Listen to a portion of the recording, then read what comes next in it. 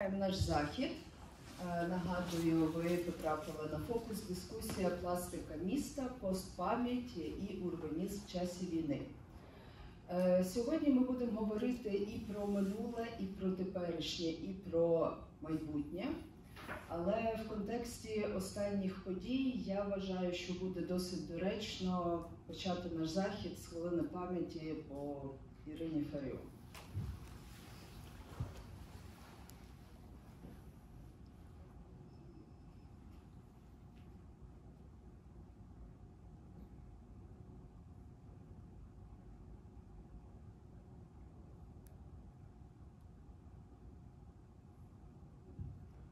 Щиро дякую.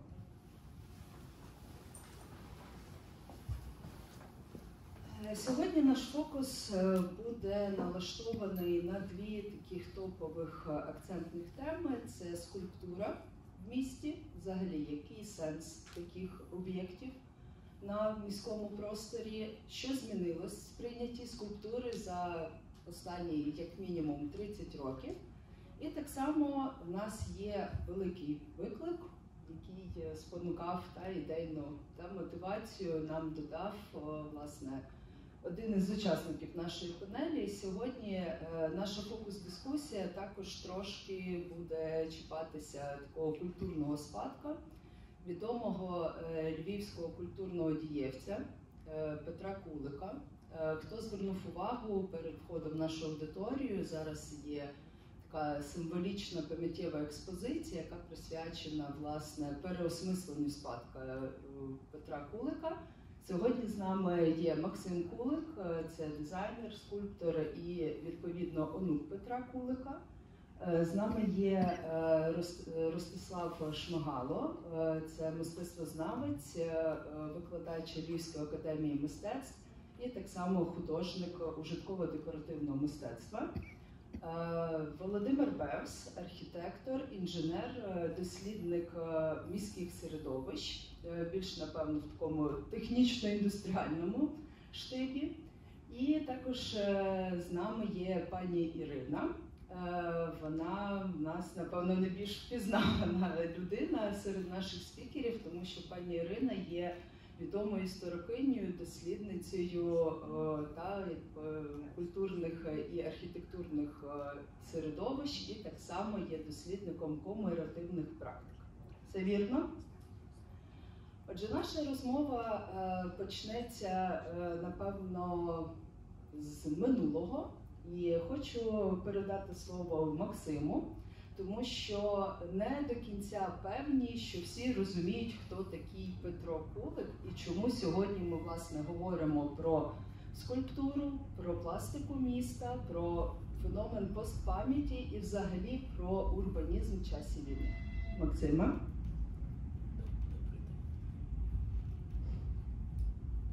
Добрий день, мене звати Максим Кулик, і я, напевно, найщасливіший, того, що в мене було три дідуся, був мій по маминій лінії, по татовій лінії це Йосип Кулик, він був архітектором, і мій двоюрідний дідусь Петро Іванович Кулик, який був моїм найкращим другом, і ми з ним дуже-дуже багато проводили часу разом. І він став моїм ментором в мистецтві, якось направляв мене. І я працюю з його архівом, і те, що ви могли бачити на вході, це мої такі екс- кураторські експерименти. Е, Петра Івановича пам'ятник ви точно бачили в центрі Львова. Це пам'ятник Івану Підкові. Їх є таких три в Україні. У Львові він зображений такою головою, де його стратили. І це така концептуальна дуже робота, того, що їх три в Україні, у Львові, де його стратили, в Черкасах, де він народився, і в Каневі по дорозі до Тарасової могили. Він зображений в силуеті, от якраз оце він, він в силуеті козацького хреста, де він похований. В Петра Івановича я, працюючи з архівом, знайшов проект пам'ятника Каневського підкові 69-го року. Е, Встановлений пам'ятник в Каневі 2007. Наскільки прагматично ви можете розуміти, він йшов до своєї мети, скільки років, не- здаючись, і пам'ятники Петра Івановича не тільки в Україні, вони ще є в Чикаго. Це пам'ятник присвячений тисячоліття хрещення Росії, пам'ятник Володимиру Йомиці. В Торонто це пам'ятник Івану Франку. Там це такий український старечий дім на, на території цього дому. Цей пам'ятник. Ну і ще багато таких пам'ятників радянської епохи, як якраз ви бачите на, на виставці фотографії, де в ті часи режиму він не зображав солдатів з ППШ з зірками, дуже умовно, але ви бачите прості геометричні форми е, взорів, які дуже етнічно вказували на, на українську ідею, яку він постійно проводжував протягом всіх своєї творчості. Отже, зі слів Максима, ми можемо зрозуміти, що е, Петро Кулик цікавий для нашого сьогодення власне тим, е, що він незалежно від утисків, е, від певних стандартів, які були встановлені в час, коли він власне створював свої мистецькі пластичні форми, він все ж таки підтримував активно таку виразну лінію створення скульптури з українською ідентичністю.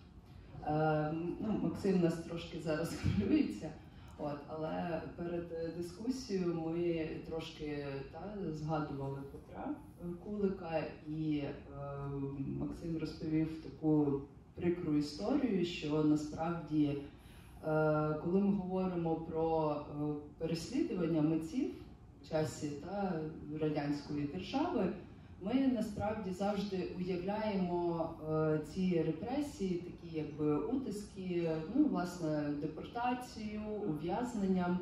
Але я хотіла би, щоб Максим розповів одну історію, правдиву реальну історію, що трапилася зі скульптором у Львові, та, і яка була ціна власне такого прояву ідентичності. Ну, ще, ще є така легенда, що пам'ятник Квіткові поставили за один. Насправді він 12 років в, секреті створювався в майстерні, тому що в 70-му році на персональній виставці був представлений невеликий ескіз пам'ятника Підкові. І на, якщо не помиляюсь, на площі Митній, він йшов своїм другом, архітектором Володимиром Люсюком, і йому зі словами «Вот тобі западково» кастетом вибили верхню, верхню повністю щелепу. У нього були всі золоті верхні зуби. Так, в гуглі є фотографії цієї такої золотої посмішки. І він потайки робив 12 років це. І як він мені сказав за столом на кухні, каже, куди би я скаржився в міліцію? Ні. Він каже, я їх покарав ще більше. Я поставив цей пам'ятник і він буде стояти там вічно. І от такий в нього був робочий настрой. В якому році це було? Е, Встановлений пам'ятник 82 Він подарований місту. Клич міста, е, скульптори могли дарувати пам'ятники, і так як пам'ятник вже був готовий, просто він подарувався. До слова, пане Ростиславе, а ви добре знайомі з роботами Петра Кулика? Можете прокоментувати своє ставлення?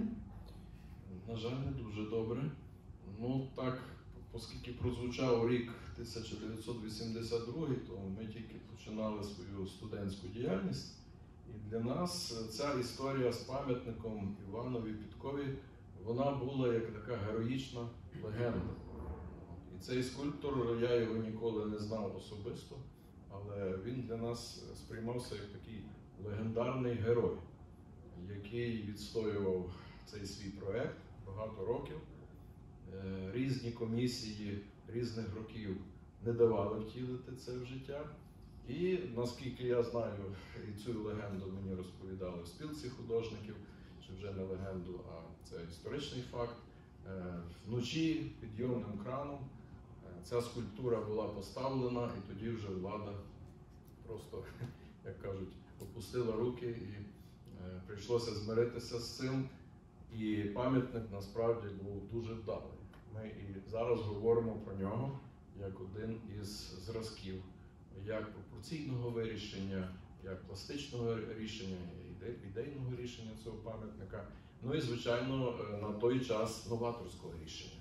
Е, Пам'ятник Івану Підкові і зараз е, в рейтингу, напевно, якщо б такий рейтинг робили, він би знаходився в одному з п'ятірки кращих пам'ятників у Львові. І дуже добре, що таким девізом сьогоднішньої розмови є саме ім'я Петра Кулика, тому що е, скульптура це завжди був ідеологічний фронт.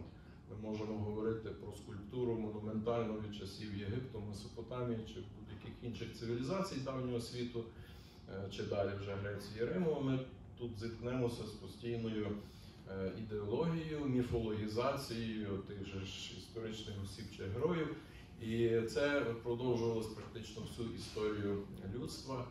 І найбільший вплив на психіку е, людини, е, я думаю, все-таки мала монументальна пластика. Ну, І тут е, можна дуже широко говорити, що таке монументалізм, що таке ідеологія в скульптурі, яка ще буває скульптура, якщо ми беремо естетичні якості. Оцей типологічний ряд він є дуже широкий.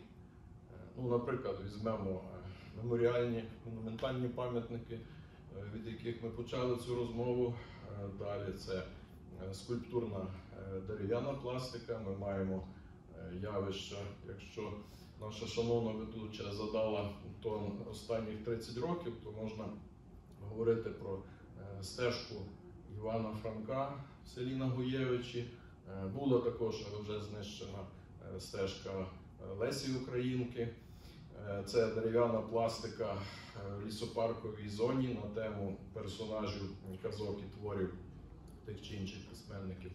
Можемо говорити про садову паркову пластику в різних матеріалах. Це і метал, е, бронза чи кований метал, чи можемо говорити про кераміку.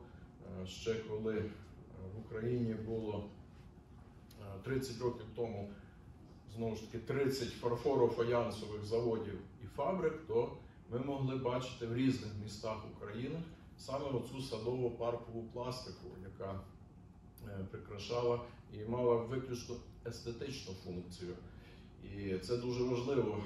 Е, Пропорції в урбаністичному середовищі е, меморіальної пластики з ідеологічним навантаженням і суто такого естетичного характеру пластики. Ми коли їдемо, починаючи від центру на вулицю Степана Бандери, е, маємо, на мою думку, дуже добрий е, за пластикою і пластичний пам'ятник е, жертвам політичних репресій. Це така мускулиста постать, яка діагонально прориває пута решітки якоїсь тюрми такої умовної. От. Але разом з тим, коли йде е, матір з дитиною, то маленька дівчинка питає, мама, а що то таке? От. І їй важко пояснити, що це таке. Діти можуть боятися таких речей. Е, Тут впливає і масштаб, і е, те, що у Львові дуже мало таких зон, в яких можна людині відпочити, щоб це була зона парків і скверів. І там ця скульптура була дуже органічною, щоб вона не була перевантажена. Тут дуже багато є причин для того, чому наші пам'ятники не зовсім вдалі. Е, Я згадав цитату е, скульптора. Ну, мене вчив, до речі, е, багато наших колишніх корифеїв, і Еммануїл Мисько, і Володимир Одрихівський, і багато інших. І був ще такий професор Пилів. І от ще в ті радянські часи між скульпторами е, було таке прислів'я: будьте здорові, живіть багато, чим вища скульптура, тим більша зарплата. І розцінки худфондів вони напряму були пов'язані з висотою і глибиною пластики. І навіть ми, будучи студентами-керамістами, але їздили, наприклад, такі так звані будзагони, робили дитячі майданчики, де там скульптури різних персонажів казок були від метра, двох, і навіть е, були і три метри в дереві. Ми робили ці е, пластичні такі зони на тему казок. Це робилося з дерева, але нам хотілося зробити якомога вище тих скульптур для того, щоб побільше заробити.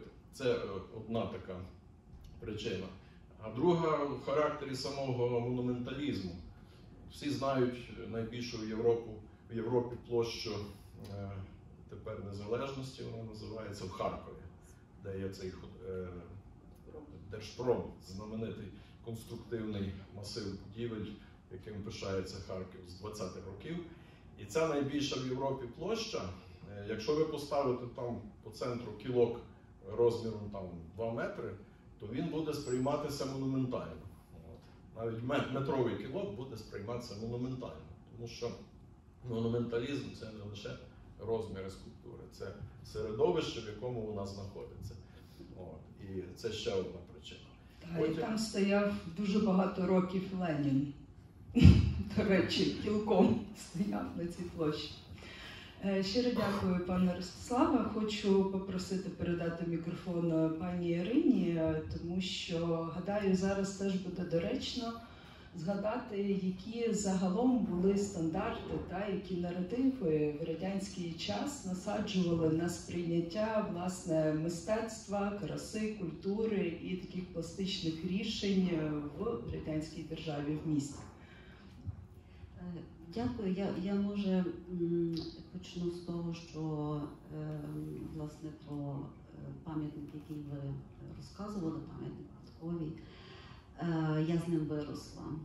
Тобто, я пригадую, мені тоді було 7 років, і коли ми приїжджали з батьками в центр, тобто це тут ви почали про це говорити, і я згадала свої дитячі відчуття цього пам'ятника. Він мені був, він мені був цікавий. Е, І це також питання того, як пам'ятники е, маркують нашу мапу, мапу міста. І мені якби дуже боляче через те, що е, сучасне місто наше зараз перенасичене різними об'єктами. Та я дуже часто говорю про те, що е, ми боїмося просто пустих пустих просторів. Так? І зараз цей пам'ятник абсолютно загублений Е, в, в тому всьому, що є навколо, ці кав'ярні, машини. Так, от це якби такий дуже важливий, е, важливий момент. І дуже, дуже прикро, що е, якби ми певні якби, традиції не продовжуємо, ми не аналізуємо, ми не зберігаємо ті акценти в місті, які би, які би мали бути е, збережені. З приводу радянського часу я би е, хотіла сказати, що е, для тоталітарних авторитарних країн це не тільки Радянський Союз, ем, це також ем, всі країни міжвоєнного періоду, які в певний момент стали авторитарними, там, окрім Чехословаччини. Та? Тобто е, про те, що вже говорив мій колега, пам'ятник є е, ідеологічним інструментом. Так? Він маркує місто. Так? І коли е, радянська влада прийшла до міста, то перші кроки, які вона робила, це перейменування головних вулиць. Так? І другі, і одночасно кроки, які вона робила, це знімати пам'ятники, які ідеологічно не підходять, і ставити, ставити е, нові пам'ятники. Але я також тут хочу зазначити таку річ, про яку ми рідко коли думаємо.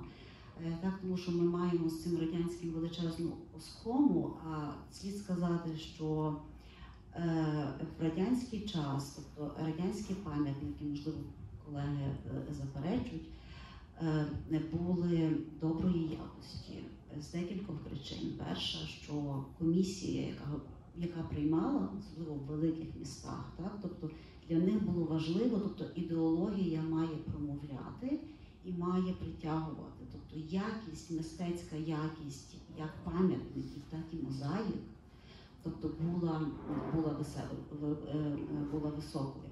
Але е, тобто традиція пам'ятників це не тільки про авторитарні і тоталітарні держави, це також про традиційні е, держави, та, які ще не стали модерними.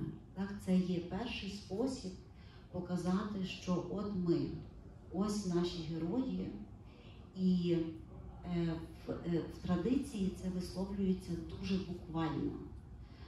Так, тобто це переважно постать якогось великого митця, якогось політика, якогось. е, І на що би я також е, пропонувала, можливо, звернути увагу і, можливо, відрефлексувати, що ми за час незалежності, за цих 30 років, ми повернулися до цього стану а, традиційного підходу облаштування ем, просторів в місті. Ну, навіть в самому Львові скільки з'явилося пам'ятників е, українським діячам, лідерам, і е, багато хто з них навіть і не мав стосунок до Львова. Так? Але ми цей простір знову хочемо маркувати, і ми його маркуємо дуже традиційними способами і тими ж самими способами, які використовувалися в радянській владі. Тому що це також ідеологія. Ми також цією ідеологією ми ставимо пам'ятник Бандері, так? і ми говоримо, ми не просто його ставимо, ми не просто вшановуємо. Ми, ми цим говоримо щось. А, і перебийте мене, якщо я довго говорю, бо мені здається, що я хочу зараз, мені так видається, сказати важливу, важливу річ з перенасиченням наших міст пам'ятниками. І який я в цьому бачу ризик? Ем, Колись дуже давно, коли я ще працювала в центрі міської е, історії, в нас був воркшоп, і студенти досліджували певні е, території Львова. І одна з груп мала е, завдання дослідити простір е, пам'ятник Бандери і простір навколо нього. І я тоді була страшенно здивована результатами. Вони опитували всіх, хто проходить, і всіх, хто там е, використовує цей простір. Е, Там було дуже багато мам з маленькими візочками, тому що там є ем, лавочки. Е, Там було дуже багато молодих підлітків, які їздили на скейтах. Там були трошки старші молоді люди, тому що це є простір, де просто зібратися. І з цього опитування ніхто навіть не згадав пам'ятник. Про що це мені говорить? Давайте про це подискутуємо. Так? Про що це мені говорить? Мені говорить це про те, що напевно міняється ситуація, е, коли ми е, хочемо публічні місця використовувати в інший спосіб, а не просто як місце, де раз в рік прийде влада поставити квіти. І напевно ці, ці люди, всі, які були опитані, напевно, вони про це говорять, тому що вони говорили, що тут є простір, який вони використовують.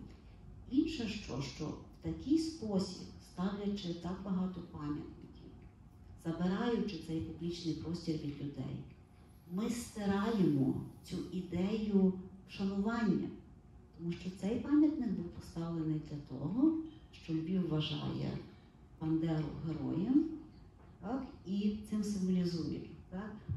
А ситуація якби виявилася абсолютно якби протилежною. Тому оцей такий дуже традиційний підхід до облаштування публічних просторів і комеморації через встановлення пам'ятників, е, тобто він вже не, не є релевантним, якщо ми ставимо перед собою метою, що цей пам'ятник має ем, комеморувати.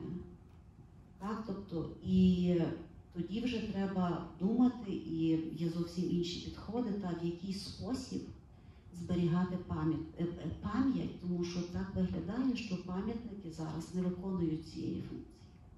Дякую, пані Ірина. Ми ще повернемось до питання про пам'ять, як ми маємо або можемо сприймати скульптурну форму в місті. Е, Я би хотіла зараз е, запитати пана Володимира його думку більше з такого ракурсу, як е, теоретика архітектури, і загалом ми от, так трошки в різних ракурсах оглянули, як ми сприймаємо пам'ятники, в чому особливість творчості скульптора з точки зору планування міста загалом, як архітектори вони взаємодіють зі скульпторами. Чи це є в якихось попередніх урбаністичних розмітках загалом архітектура, місто, урбанізм і пластична форма? Як вони поєднуються принаймні на теоретичному та рівні? Е, Дякую, Ярослава. Е, Я якраз хотів е, продовжити напрямок розмови своїх колег і трошки його віддалити як архітектор від скульптури. Річ у чому, якщо ми дивимося на будь-яке місто, на його планування, воно може бути дуже різних форм. Вулиці можуть іти колами, поворотами, прямими, дуже різних форм можуть бути квартали. І це з вид зверху.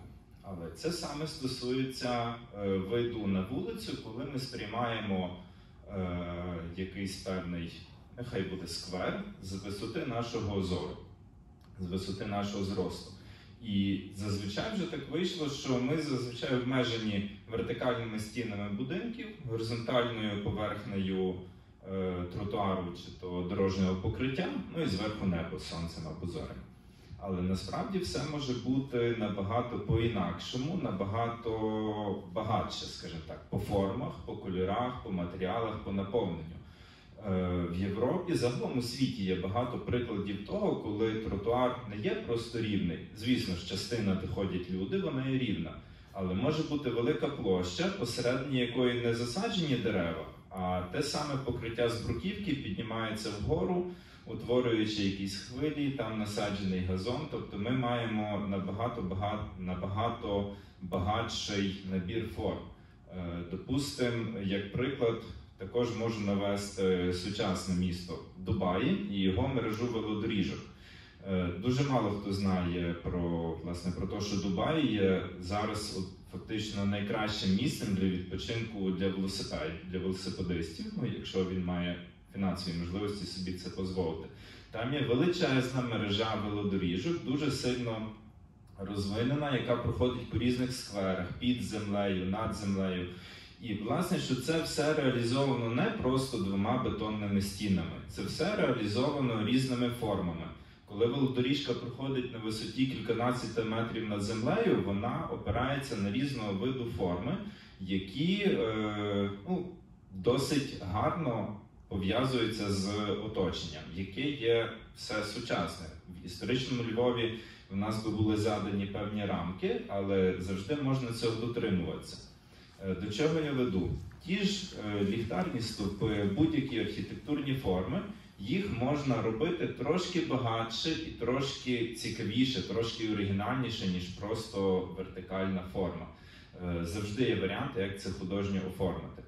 І також до чого я веду, що якщо ми вже говоримо зараз про скульптури, то скульптура це фактично просто один об'єкт. Е, Цим терміном скульптура ми описуємо один єдиний об'єкт, але він не може існувати сам по собі. Якщо взяти скульптуру і її десь поставити, ну вибачте, так не працює, навіть якщо вона буде ідеально доносити задумане автором. Ні, вона має бути правильно вписана в якесь певне середовище, в якісь певні форми. Е, Сьогодні вже згадували пам'ятник жертвам комуністичних репресій е, біля музичного училища.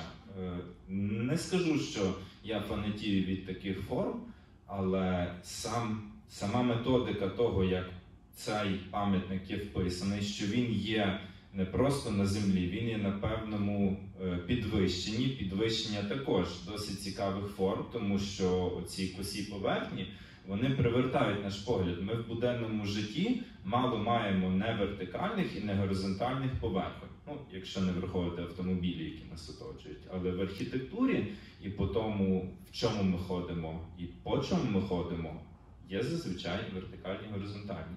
Тому така от методика е, косих форм, вона е, не скажу, що це є всюди правильне рішення, але це є дуже хороше рішення привернути трішки більше уваги і зробити якийсь, ем, якийсь акцент. Я ще трошки залишу на потім на цю тему. Дякую. Дякую, Володимире.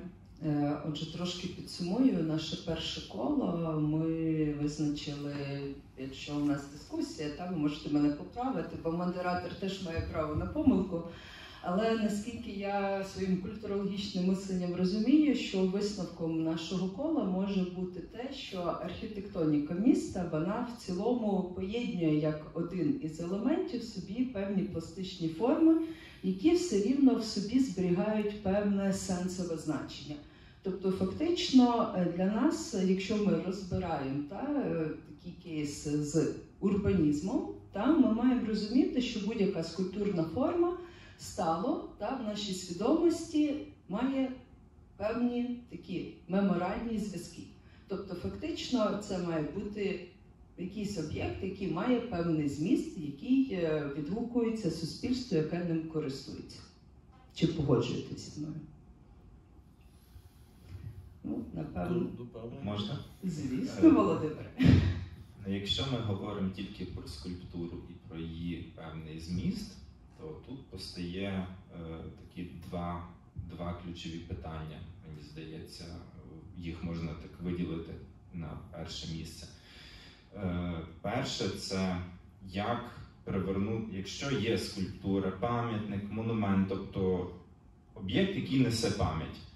Е, Він спершу має привернути увагу людей, щоб до нього підійшли. Це його таке перше завдання. Інакше, ну навіщо їм взагалі, якщо його всі будуть обходити десь стороною. А друге, це він має донести якусь ідею. Дуже рідко можна зробити, е, можна закрити ці два питання якимось одним прийомом. Тобто, спершу людина має чомусь захотіти підійти до цього об'єкту, а потім вона має зрозуміти, ага, це про то. Не завжди працює метод підпису. Тобто людині не завжди е, достатньо буде прочитати. Або навпаки, людина може зрозуміти всю суть без, без підпису. Для прикладу, е, пам'ятник, який був на на київській трасі біля Олеська. Ці двоє коней, які нависали над е, трасою. Е, це є е, червоноармійці. І, в принципі, здалека, оце, до речі, такий хороший приклад. Він цей пам'ятник дуже сильно притягує увагу. До нього хочеться під'їхати, зупинитися. Його недавно десь демонтували, і лишався лише каркас. Але що цікаво, головна траса проходила поруч, а до пам'ятника треба було там кількасот метрів від'їхати, і багато людей до нього під'їжджали, щоб подивитися, що це таке надвисає над тою старою дорогою. Це момент перевернення уваги. А друге, це що це таке? В даному випадку питань не виникало. По одягу, по червоних зірках на тому одягу ставало зрозуміло, що це е, совєтські солдати. От перше питання, друге питання. Закрито. Там і без підписів все було ясно. Дякую. Е, Дякую за згадку про совєтського солдата. Наступне питання, яке до кожного з наших е, гостей буде, це власне е, такий момент, що звісно в нас вже з 14 2014 року в Україні активно розвивається нова ніби традиція та декомунізації, делокалізації пам'яті і дуже багато де. Тобто, фактично, це все приводить до такої нової, ніби тенденції, що в Україні ми починаємо переосмислювати наше минуле. Тобто, і це не лише філософські розмови на якихось публічних дискусіях, тобто дійсно розпрацьовуються певні системи, певні підходи, і дійсно вони імплементуються в наші місця. міста. Е, Хочу почути вашу думку стосовно власне декомунізації, тому що насправді, коли ми говоримо про скульптуру, зокрема, ну і так само, коли ми згадуємо Петра Кулика, ми розуміємо, що це твори, які були створені в радянський час. Так, от, наприклад, е, наш козак так, Підкова, він має право бути в нашому сучасному просторі. Ну, бо це козак, це символ ніби українства, ідейності нації, але це скульптура зроблена в радянську добу. Питання, які, власне, ми по якому та, методу ми маємо відбирати, або от як працює декомунізація, от, власне, в такому урбаністично-мистецькому просторі, на вашу думку? Максиме? Можливо, ти згадаєш історію про пам'ятники діда, які Я вже не існують? Я до кінця так і не зрозумів, як працює декомунізація, тому що з пам'ятником ніколи питань не було. Тут, тут ніби все ясно. А от інші пам'ятники дуже схожі на цей, теж період 70-х років. Його знесли, бо там дуже акцентували, тому що воїн, як вони сказали, воїн був в кацевороці, а це е, гімнастерка, це такий одяг офіцерського рангу. І Петро Іванович Ну, ми, ми так що говорили про зна... значність скульптури, вона могла бути двозначна. Він робив воїна з мечом, не з ППШ. Це теж, яка би імперія не прийшла на зміну радянській, вона б могла залишити цей пам'ятник, бо меч це символ воїна, ППШ це, це символ радянського воїна. Е, Червона зірка це вже чітке відношення до Червоної армії. Він з мечом, і ця гімнастерка, ну вона дуже умовна, це така штука, яка застібається так на бік. І ті, що зносили пам'ятник, вони дуже акцентували, що це касоворотка. Ну, касоворотка, це ми теж знаємо, там якісь взори є, а не просто два гудзика На тому пам'ятнику теж була він дуже схожий на цей, який представлений тут на виставці. Там теж була жінка, в якої такі прості геометричні взори, які чітко віддають ну, розуміння, що це приналежність до українського етносу жінка має. Його знесли, потім його хотіли. Ну, спочатку вони його розламали, він теж бетонний. Нам вдалося забрати цю голову назад до, до, до майстерні. І вони, вони спочатку його знесли, а потім хотіли його в якийсь музей. Питання, на що було його ламати палками, а потім переносити в хотіти якийсь музей. Музей чого? Е, Так і не зрозумів. Так, я, я, я, я так і не зрозумів от, питання декомунізації. Як воно, воно в кожного буде своїм, і я теж не, не розумію. Е, Я недавно бачив фотографії збереження е, нацистського орла, де була величезна скульптура цього орла Рейху, яка залишилась просто головою орла на такій великій бетонній підставці. Ну там, там десь, десь, десь там, де був рейх. І, ну, і оце типу збереження якби вже не несе тої імперської цінності, і, і так само він обезголовлений, то теж є тут дуже такий свій символізм. Я думаю, зараз ми можемо передати запитання пані Ірині. Ну, все ж таки треба розібратися з термінологією. Можете дати визначення, що взагалі сьогодні ми сприймаємо під декомунізацією? Ну, в такому загальному сенсі. Е, Ну, справа в тому, власне, ем, так як можна по вашій відповіді простежити, що е, якби ми ем, маємо дуже загальне уявлення про це, і для нас ем, зараз, із початком війни в 2014 році, особливо зараз, декомунізація це є м, знищення, викинення всього, що було радянське. І це дуже складне питання. Це, це, це, це дуже складне питання, тому що е, якби безумовно, що е, всі ідеологічні речі треба забирати, так, всі пам'ятники вождям і, і жизнінні треба забирати. Але от я маю велике питання до, до пам'ятників е, солдатам Другої світової війни. І я думаю, що тут ми радше, зараз скажу дуже-дуже непопулярну думку, що ми тут радше е, дуже добре діємо на руку Росії. А Путін зараз узурпував Другу світову війну як е, Велику Отечественную, в якій Росія, росіяни звільнили Європу від нацизму. Ми всі з вами знаємо, що зі школи, що другий після білорусів по кількості загиблих це були українці. І для мене велике питання в тому, що ми е, ці пам'ятники, ми цю історію собі не присвоюємо. Україна зробила дуже багато для перемоги над нацизмом. І ці пам'ятники є свідченням цього. І руйнуючи їх, ми говоримо, що ми не такі важливі були в цій історії, і ми віддаємо повністю карт-бланш Росії і говоримо, робіть далі свою, свою пропаганду. А, і, і тому це страшенно складно, оця, тому що розумієте, історія і минуле немає ні одної нації в світі, яка має тільки позитивну історію, яка має тільки позитивних героїв. Так? І можливо, якщо ми це сприймемо, сприйме, сприймемо, нам буде легше не віддати е, сучасній Росії те, що є наше. А ми зараз його от просто беремо і віддаємо через руйнування цих пам'ятників.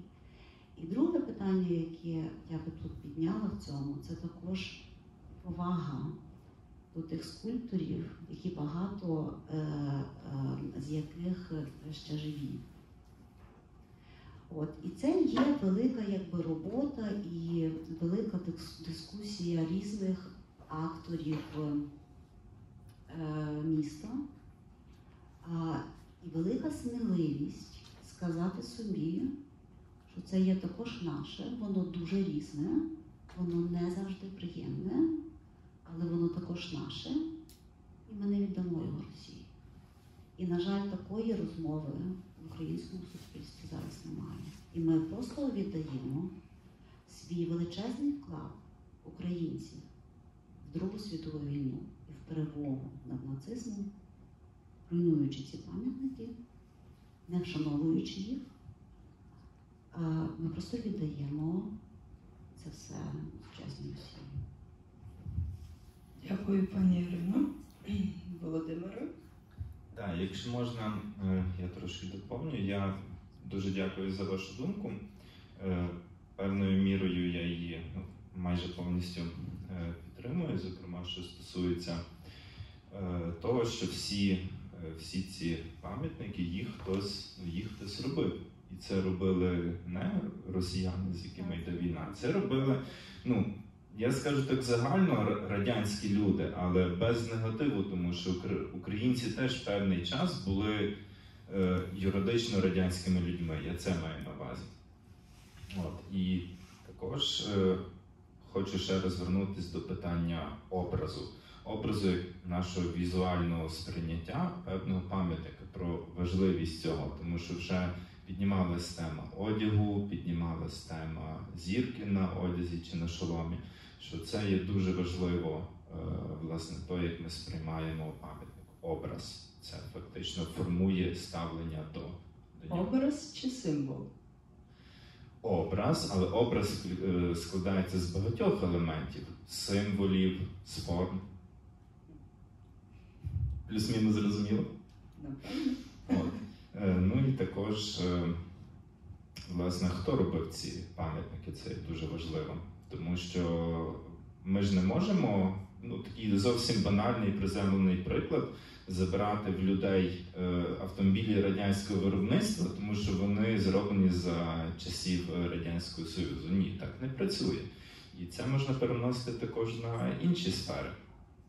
І мені дуже подобається, що прозвучала ця думка про внесок е, українців е, в Другій світовій війні, і зразу згадується жарт початку е, повномасштабного вторгнення, що подивіться на що здатна російська армія, коли українці не воюють на її стороні.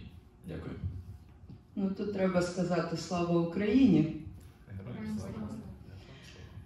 Пане Ростиславе, тільки ви врятуєте нашу дискусію з точки зору мистецтвознавця. Скажіть, чи дійсно існує таке визначення радянське мистецтво, радянська скульптура, радянська традиція і сучасна українська?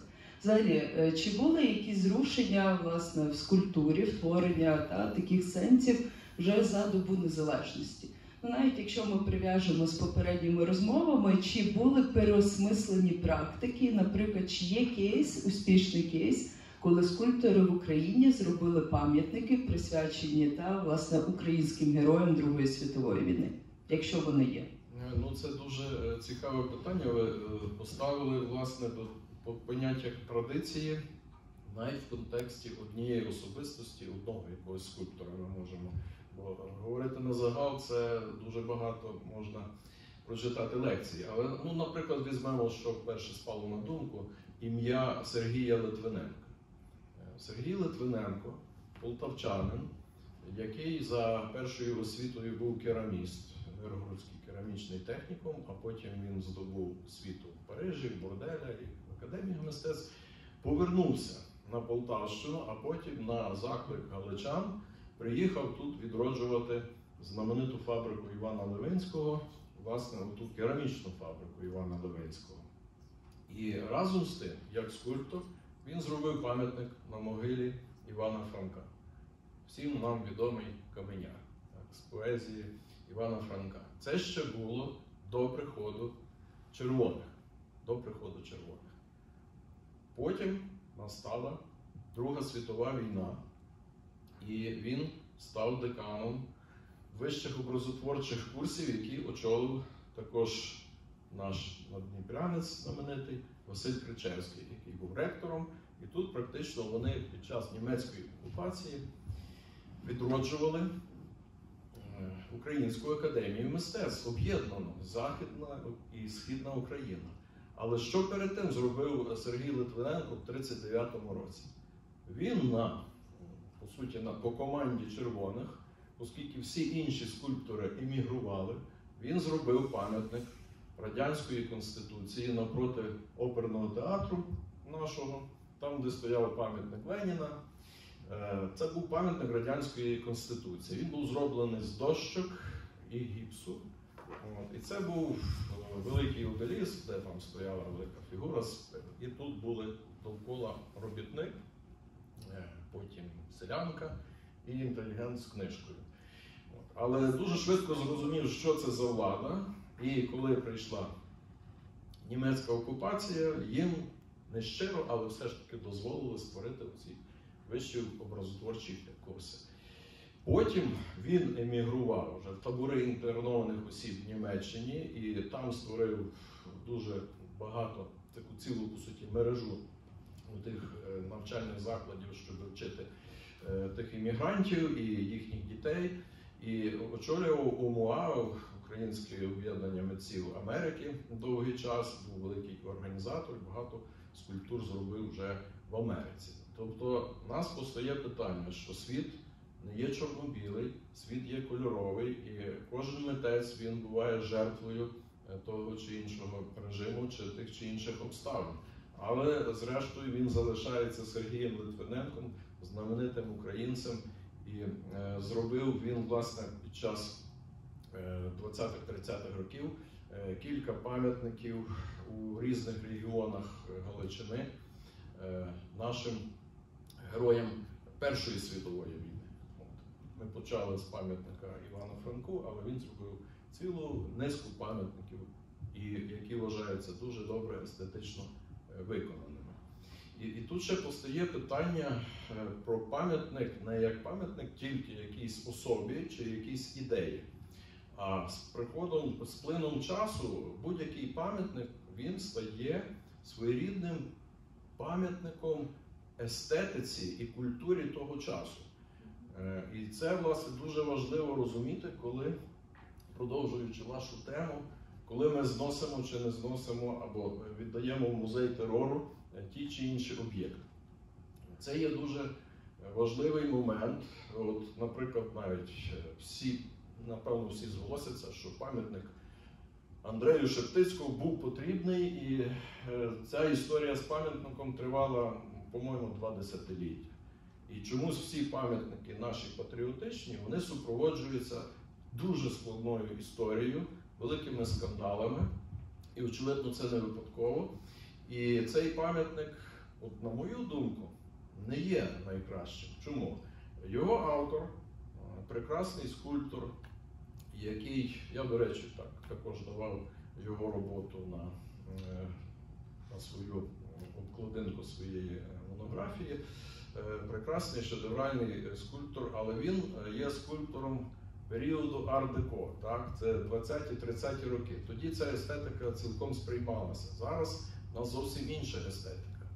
І ще, на мою думку, він не найкращому варіанті відтворений за тою ідеєю, е, яку вклав е, сам е, автор. Ну, не будемо зараз, можливо, всіх називати, бо це не так важливо.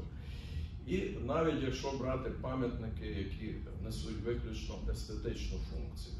От е, всі знаємо ми пам'ятник королю Данилу, і напроти нього, так, напроти нього е, був невеличкий фонтан. В народі його називали Кульбабка. Так? Е, Його зробив ну, вже покійний голова спілки художників Олег Микита в свій час. І він був прекрасно вирішений, абстрактно стилізована скульптура, дуже добре пропорційно вписана в простір, але з е, різними обставинами, в тому числі і такими організаційно-політичними, щоб насолити самому ж Олегу Микиті, цей, цю кульбабку знесли і передали також в музей терору. Але що там було такого ідеологічного, крім того, що це було зроблено в радянський час? А натомість поставили такий круг, який в народі називають е, каналізаційний люк. Так? Це дуже багато преса е, коментувала і агітувала, що це естетично новий матеріал, новий метал, і ця естетика виправдовує кошти, які там були затрачені. От. Я вже не говорю про пам'ятник Ксаверію Моцарту, який найбільше, напевно, з усіх пам'ятників у Львові Цю супроводжувався. тему краще не обговорювати, бо зараз знову почнеться то там. Е, Резюмуючи те, що я сказав, пам'ятник не тільки є пам'ятник епосі чи якійсь людині, чи якійсь ідеї. Це ще є пам'ятник культурі і естетиці е, того населення, того народу, е, який е, його ставив. І тут дуже важливо не тільки творчі процеси, а організаційно творчі. А судді хто? Так? Тобто, і які комісії, хто в тих комісіях є. І Якщо ми це проаналізуємо, ми зрозуміємо, чому е, пам'ятники наші мають таку чи іншу якість. От. На мою думку, в таких комісіях мають бути, окрім архітекторів, мистецтвознавці, е, мають бути скульптори відомі, які вже зробили і мають цілий ряд достойних об'єктів. От. І також ну, добрий приклад з пам'ятником Шевченка, коли велику роль відіграла громадськість. І ці громадські слухання народ не завжди правий. Я згідний в тому, чи пам'ятник добрий чи ні, е, якщо визначають ну, загально е, народні маси, які можуть бути дилетантами в мистецтві. Так? Дуже часто голос народу не є е, до кінця вірним. Але є певна інтуїція і певний компроміс, і певна золота середина. Пані Ірино. Можна я з вами подискутую? Оскільки я якби з того фаху, яке вже собі може трошки дало спокій, е, що ем, втратило експертизу на минуле і на історії.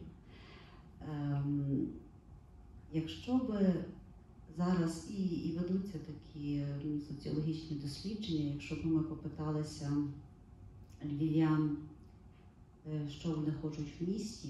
Звісно, якщо не говорити про війну, тому що ми страшенно травмовані там, так?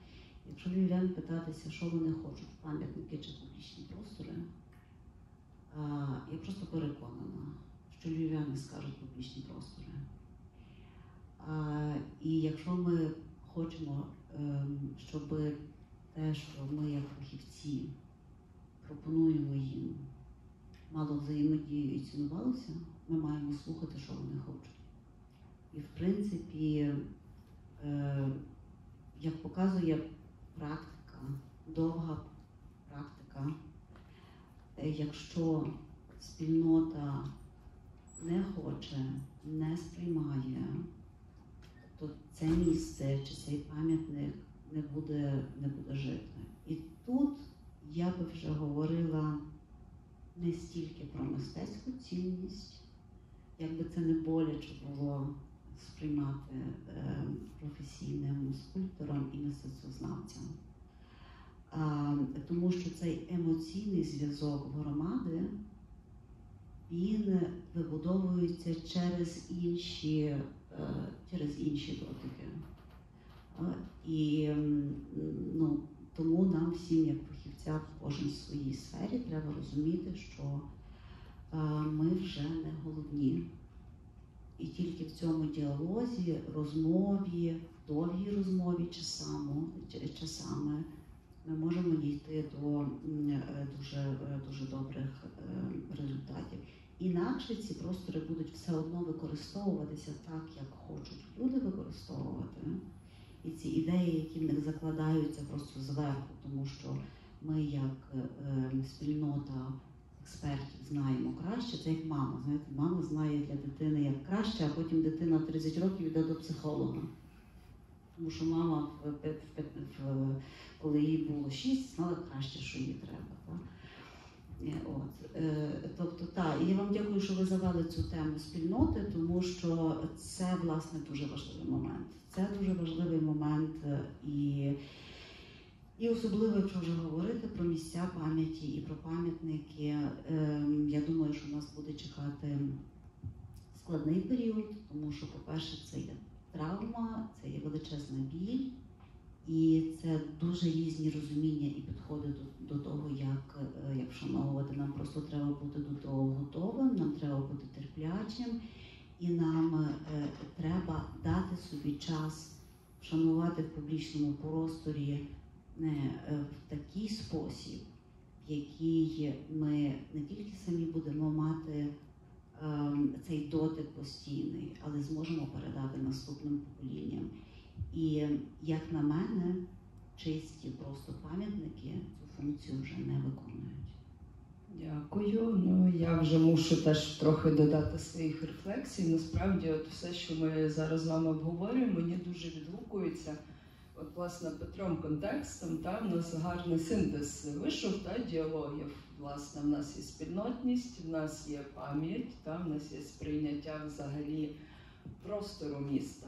І мені здається, що насправді ми в нашій історії навіть культурного сприйняття міста, та того самого urban space, ми маємо певну травматичну теж позицію. Мені здається, тут варто власне перейти до тематики постпам'яті. Це традиція передання певного травматичного досвіду.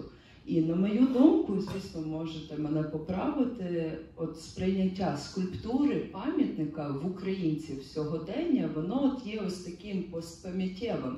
Тобто, коли в нас вже є закладені стандарти та от і очікування, тобто, коли ми тільки починаємо говорити публічно зі спільнотою про пам'ятники, про скульптуру, про якусь зміну простору, в нас виникає ось ця травма, та тому що насправді тут не лише про радянську добу, а те, що вся територія України дуже довгий такий тяглий час перебувала дуже швидкоплинних змінах та імперій, правил гри, естетичних традицій. І насправді мені здається, ось ця от роль власне пластики міста, вона от стала сьогодні травматичною. Плюс повертаючись до теми сьогодення, коли ми знаходимося в часі війни, і ми вже розуміємо та, те, що ми маємо думати наперед про відновлення міста. Мені здається, тут теж дуже важливо згадати, що ж таке постпам'ять, яка є традиція, якими ми хочемо бачити міста. І тут я гадаю, пані Ірина дуже слушно згадала тему меморіальної культури, загалом, що нас чекає в майбутньому. І я б хотіла цей ракурс перевести на таку тематику, що ми зараз бачимо, що в Україні вже йдуть проекти, комеративні практики, меморіалізація, але це більш стихійні проекти. Тобто, насправді в нас зараз е, дуже мало та є можливостей, як мінімум фізичних, створити нову традицію. Але є великий запит від суспільства та от вшанування. Ми ніби звикли, та з одного боку в нас є травма та в сприйнятті пам'ятника. І тим паче після так званого Ленінопада і інших речей з декомунізації, які можуть, як, наприклад, та, от в контексті доробку Петра Кулика бути не завжди етичними або доречними. Та? Тобто тут теж, що воно не, не до кінця спрацювало правильно. От, але з іншого боку, є велике та, от, власне, бажання суспільства зафіксувати ось це місце пам'яті, та, яке може бути проявом та, спогаду, пам'яті, поваги до людини, місця, події і все таке інше. Тому, напевно, останнє запитання для нашого кола буде про майбутнє, про те, як ми бачимо урбанізм та зміну, трансформацію урбаністичних підходів до створення міських середовищ сьогодні, в часі війни, і що ми маємо врахувати в контексті всього нашого досвіду, називаємо його естетично-історичним, щоб та, вдало планувати місто майбутнього. Ну і останнє запитання в цьому великому запитанні: чи є дійсно потреба лишати підхід створення пам'ятника в такому традиційному сенсі в місті в сучас... в майбутньому та сучасному місті України? Прошу. Ну, Можна, якщо я можливо почну тоді так. Я думаю, в цьому контексті сучасності і майбутнього дуже важливо не забувати, що роблять наші сусіди. І це також добрий приклад для нас, е, не в плані того, щоб ми змагалися, доженемо, переженемо Америку, так як колись сказав Хрущов, так? Тому що ніхто з американців не ставить запитання, чи пам'ятник Вашингтону в кращих таких ідеологічних монументальних традиціях зараз доречний е, чи недоречний. Не знаю, чи хтось був з шановних присутніх е, останнього місяця в нашій філармонії. Там при вході, відразу, коли ви заходите, в холі буде рельєф е, польською і українською мовою написано двом. Син і батько Солтеси, які були ректорами і директорами філармонії в радянському режимі з 50-х по 60-ті роки. Ну, Трагічні особистості, яких поставив е, по суті радянський режим е, директорувати і ректорувати. Але поляки е, роблять їм при вході е, рельєфні меморіальні таблиці. Е, Це йде, по суті, таке маркування території. Я нещодавно приїхав з Закарпаття, там не десятки, там сотні пам'ятників діячам угорської культури і політики, які з'явилися за останні 20 років. Е, Я веду до того, що в природі немає порожнечі. Якщо якийсь простір, в тому числі ідеологічний, не заповнюється нами, наприклад, то він заповнюється іншим. Е, Разом з тим, коли йде вшанування полеглих героїв, наприклад, тій же ж Польщі, там є дуже чіткий протокол. Ви не можете на таблиці написати цвинтаж український. Там мусить бути написано цвинтаж греко-католицький. От. І е, ні в якому разі не українською мовою. І таких прикладів фактологічних є дуже багато. Тобто має бути перше толерантність, має бути діалог, має бути державна політика, бо ті ж дошки е, таблиці меморіальні Солтесам, виявляється, наша львівська влада не знала. Їх просто вже запросили постфактум на відкриття. Це була приватна ініціатива, були заплачені гроші українським, до речі, скульпторам, і це поставило зовсім без всяких погоджень. Ясно, що ми не повинні себе зашорювати якимись такими рамками цензури на кшталт радянської доби, але ми повинні також розуміти, що ми не живемо на якомусь е, такому острові е, або континенті, як американці, де нам нічого з боку не загрожує ніяке маркування ніяких інших народів. Тому е, ми повинні з усією повагою до наших сусідів не цуратися монументалізації е, пам'яті наших героїв. Мою думку. Дякую. Поки хтось буде наважуватись, мені чомусь згадали зараз е, в коментарі пана Ростислава кейс, який теж такий про травму і про прояв та власне пам'ятання. Це історія японського міста Хіросіма, де з часом теж виник певний меморіал. Всі, я думаю, з присутніх знають, що там сталося під час Другої світової війни. От і що цікаво, це для мене цей кейс власне з цим меморіальним об'єктом, який е, ніби устатковує згадку про події, які там вищинило просто тисячі людей. Е, Там немає жодної згадки про те, що це зробила Америка. Тобто, фактично, це настільки толер... толеризуюча пам'ять, тобто вони зафіксували події, вони зафіксували наслідки, але вони якби та етично оминули та згадати, хто є винуватцем. І що цікаво, власне, е, дуже довго американці боялись та відвідувати цей меморіал, напевно, думаючи, що там десь буде та якби звинувачення їх. І тільки Обама першим, та такий американський відважний президент, приїхав і, і зрозумів, що навіть коли він відвідав цей меморіал, в дипломатичності японців не було жодної навіть натяка на те, що ну тобто Японія настільки вміє комунікувати про свої історичні травми навіть в меморіалах, що навіть винуватці того або їхні нащадки не відчувають цього помиттєвого утиска. Повертаємось до міста, війни, меморіальної культури, образа воїна, пам'ятників, скульптур і загалом, яке наше місто має бути в майбутньому. Е, Якщо говорити про е, простір, в якому може поставити пам'ятник, е, ми можемо взяти за такий зразок площу там, розміром з один квартал. І ми тут також не повинні вдаватися в крайності в чорне-біле, як ми вже сьогодні згадували, тому що не обов'язково має бути просто вільна площа або площа з пам'ятником. Є багато різних варіантів, як це ще зробити. Е, До чого я веду? Е, Може бути не обов'язково е, пам'ятник певній людині. Кожне місто має свою певну історію, має історію архітектури під нашими ногами, під тротуаром. Колись могли бути знайдені якісь рештки, бути якийсь храм. І якщо поставити якусь пам'ятну, ну пам'ятна таблиця, це так дуже грубо кажучи, є дуже багато варіантів на сьогодні, як ознакувати якийсь втрачений об'єкт. Це можна невеликою бронзовою скульптурою зробити, каркасом з дроту, нанесенням на склі, віртуальною реальністю, варіантів повно.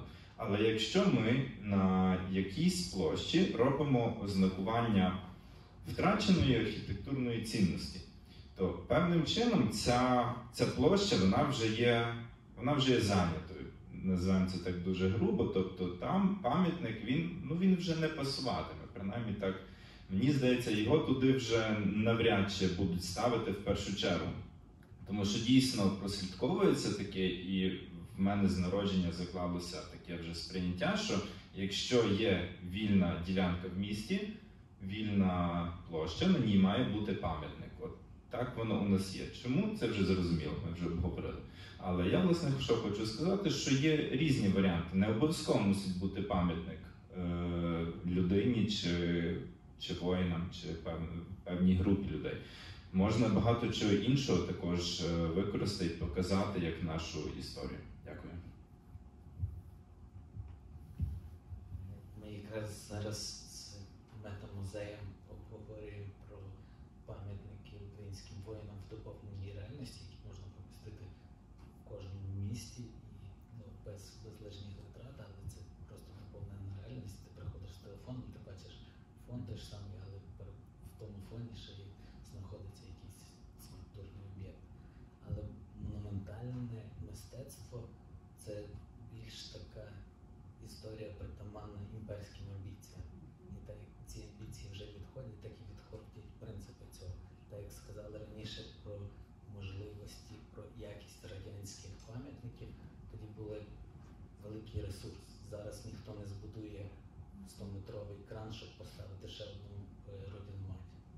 Зараз ніхто не збудує такий кран, щоб її зняти.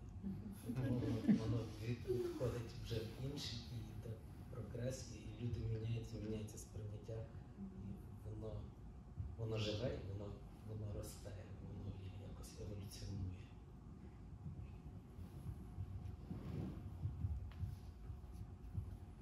Е, я би тут хотіла сказати два моменти, мені здається, також важливий. І ми це говорили з нашими студентами Харківської школи архітектури буквально цього тижня, обмірковуючи про те, як, е, е, як зробити так, щоб пам'ять жила.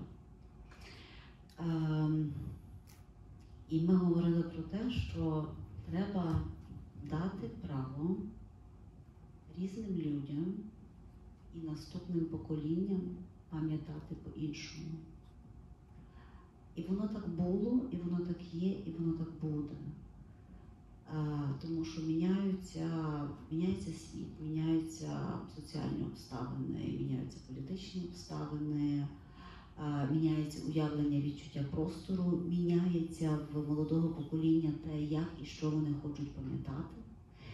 І тому ми, тобто, маємо це відпустити. Ми маємо розуміти, що коли ми зараз робимо комемораційні е, проекти, вони не можуть бути зроблені швидко. Вони мають е, задіювати різних акторів міста, і ця розмова переважно довга, болюча і складна. Ем, але з цим підходом, що ми даємо право іншим пам'ятати по-іншому, відкриває нам щілинку для того, щоб ми домовилися. Ем, Другий, ем, другий момент, знову ж таки, як показують дослідження, що не варто робити пам'ятники в суспільстві в стані травми. Її треба спочатку трошки пережити і тільки потім робити пам'ятники. Про це є дослідження. Чим це нам грозить? Нам це грозить тим, що е, в стані травми, працюючи своєю травмою, яка вимагає дуже багато часу, не день, не два, не місяць. Тобто це е, просто поставлений на швидкоруч пам'ятник, простір, будь-що майбутньому може привести і, і приводить до конфлікту в самій спільноті. І ми маємо зараз таку ситуацію, що ми всі разом згуртовані, ми мобілізовані. І, і швидкими неправильними рішеннями ми можемо самі собі нашкодити тим, що цими рішеннями ми потім приведемо до розладу і конфліктів між, е, е, між нами. Про це також мало говориться, але це можливо варта окрема дискусія з запрошенням психолога, який просто пояснить про те, що в стані травми не варто робити таких речей. Знову ж таки, як показує світова практика, що в пам'яті залишаються ті комемораційні простори, ті місця і стають іконічними, енциклопедичними, над якими які дуже складно розпрацьовувалися, дуже довго, довго реалізовувалися. І тоді з'являється певний консенсус, і тоді ці пам'ятники, які проходять такий довгий і болючий процес, вони відкривають фірточку для того, щоб наступне покоління зрозуміло ваше пам'ятання і прийняло ваше пам'ятання, а не сказало про те, що ваше пам'ятання нам зовсім не відгукується. Ми тут будемо просто їздити на роликах. Що також не є погано. Це не є погано, так? Але ж е, не того е, хотілося. І такі, таким айконічним прикладом є, ми також зі студентами Харківської школи архітектури розглядали цей приклад. Це є меморіал ем, воїнам В'єтнаму в Вашингтоні, який вже став іконічним. І те, які там були конфлікти, які там були дискусії, як довго це тягнулося, як багато е, обговорення цього проєкту витягнуло дуже проблемних інших соціальних речей, які є в суспільстві. Але тепер ми маємо один з кращих, з кращих прикладів, до, до якого всі експерти просто апелюють. Тому час дуже важливий і прийняття швидких рішень в комемораційних е, ем, е, практиках працює радше е, на роз'єднання спільноти, ніж на пам'ятання. Дякую. Чи має хтось рефлексію? Ну, тоді будемо завершити нашу таку фокус розмову. Е, Дуже складно, звісно, зробити висновок, але буду намагатись. Справді, все, що ми сьогодні обговорювали, мені дуже відгукується на таке мовно слово надія. Мені здається, що в нас є надія на те, що нам таки вдасться усвідомити, яким ми хочемо бачити місто, українське місто в майбутньому. І так само нам стане терпіння, щоб зробити все максимально стратегічно і надовго правильним. Та? Тобто гру надовго ми з вами вже ніби вміємо грати, але питання пам'яті воно трошки має змінитись. Ну і так само мені здається, що ми з вами прийшли до розуміння, що можливо ми зараз не до кінця уявляємо, як правильно створювати культуру пам'яті в наших містах. Ми не до кінця розуміємо, які зміни мають та, відбутися в плануванні наших міст. Але одне я так розумію, і я дуже сподіваюся, що наші гості зі мною погодяться. Одне, що ми дійсно знаємо сьогодні, що наші українські міста мають бути вільними і українськими. Слава Україні! Дякуємо за увагу. Героям слава.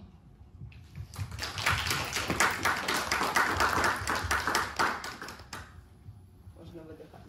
Дякуємо організаторам такої цікавої дискусії.